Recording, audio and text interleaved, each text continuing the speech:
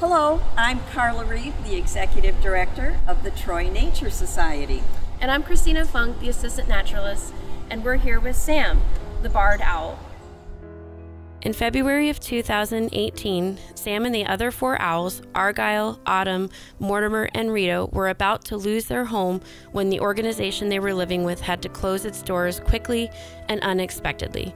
With tremendous support, we were fortunate to be able to provide these owls a new home in March of 2018, where they can continue to serve as ambassadors of their species to educate and inspire. These owls need a permanent home due to injuries they received while living in the wild. Sam, for example, was just a nestling when she was found in Alabama after she had fallen out of the nest and had wounds from what they believed was a dog bite. Orphaned and needing treatment, Sam was taken to a wildlife center where she underwent several surgeries to fix the fractures in her wing.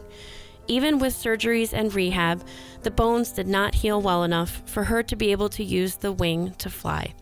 Since Sam was raised by people, she identifies more with us than she does her own species. That is why Sam calls to people. Now that Sam and the other owls reside here permanently, we have been fundraising to support their ongoing care, including medications, and to build a new structure for them to live in. The current enclosures that came with the owls from the other organization do not provide sufficient protection from the elements or adequate security for housing the owls outdoors in a public venue. The new structure will provide more security as well as more barriers from the weather while still allowing the owls to live outdoors. This structure will also allow people like you to visit the owls anytime the trails are open from dawn till dusk. This is where we need your help. Based on the initial estimates on what a permanent structure would cost, we began fundraising for a new home.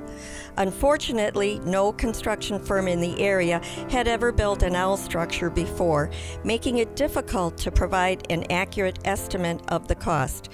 Further complicating this was the cost of special materials required to make their structure safe while not jeopardizing their health issues.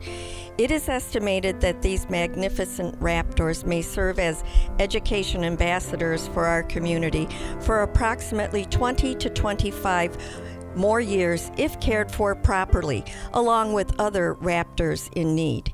The good news is currently we are two thirds of the way to our goal.